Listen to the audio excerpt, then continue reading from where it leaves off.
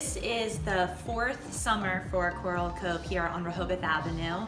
Um, it was originally owned by Mary Walls Grant, who opened in Lewes. She had a small store on 2nd Street. Um, I took over the space from her in January 2017 and um, just basically am carrying the torch of what Mary created here. I inherited a really beautiful space um, and we sell a mixture of apparel as well as home interior. All the artwork and light fixtures are for sale as as well as the gift items on the tabletops.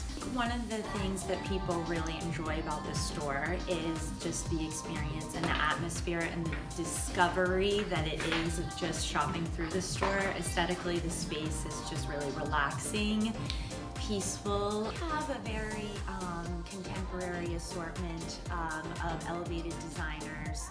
Um, it's very classic, it's fashion forward, but it's not overly trendy. Um, so we really do say that our demographic ranges from mid 20s up to mid 60s and 70s.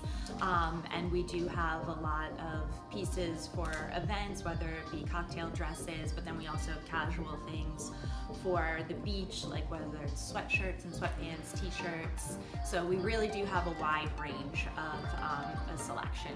We owned. I mean, I'm in here pretty much seven days a week, and if I'm not physically here, I'm at home working towards being here. Um, we try and support, like we have a couple local artists that we sell in here. Um, you know, I have several employees that live here and we're able to employ them time.